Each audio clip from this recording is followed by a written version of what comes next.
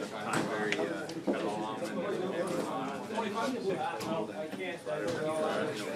and bit ahead of them. We were both teams, both games, and you know, we're interested in making the choice uh, to come to hit good with that, but also, you know, I have a lot of respect for uh, City. They're great things uh, from the guys that play. I have some friends on that team. Great things for the city, the organization. So, I expected, I that. Uh, you know, it's uh, it's not too bad when it's uh, when it's on, the road. But when at home, when you're getting booed like that, it's uh, hard to take. You think if you come to make a decision Um, well, it was, uh, you know, it was kind of, it happened pretty quick, uh, know, the last, uh, before I got traded last week about, you know, not really sure uh, when it was going to happen. Uh, my agent was really calling me and talking to Jay Feaster, I think, throughout the week, and, and I really stayed out of it the last week, uh, for the most part, until the last day when I, when I got traded.